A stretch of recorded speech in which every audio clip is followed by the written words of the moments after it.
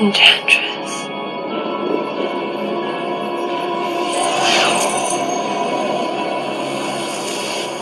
Jesus Christ.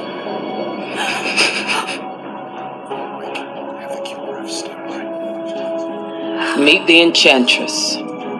Everything we know about her is in your briefing packs. She's walked this earth for a very long time and will likely be here when we're long gone. This meeting is, is now a magic show? Magic or not, this girl can do some pretty incredible things. Go get it, girl.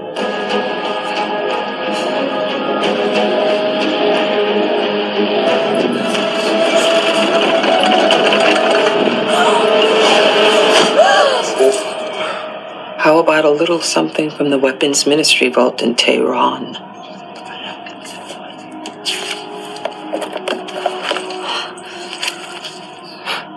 You've been chasing these plans for years. Uh, uh, please don't touch me.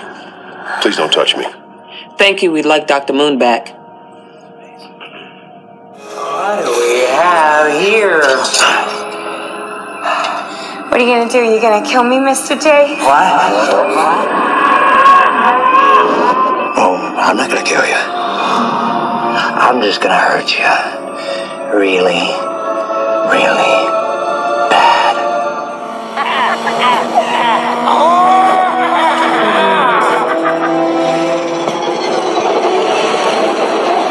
Come on, Quentin! Do it! Oh, we have got company. Betsy, Betsy, Betsy.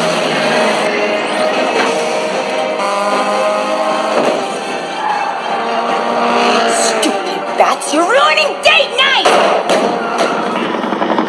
You're late. Yogata. This is Katana. She's got my back. She can cut all you in half with one sword stroke, just like mowing the lawn. I would advise not getting killed by her. Her sword traps the souls of its victims. Harley Quinn, nice to meet ya. Love your perfume. What is that? The scent of death? Horoska. Whoa, easy, cowgirl. Ain't that kind of a mission. Have a seat. She seems nice. It's a nanite explosive. It's the size of a rice grain, but it's powerful as a hand grenade. You disobey me, you die. You try to escape, you die. You otherwise irritate or vex me, and guess what? You die.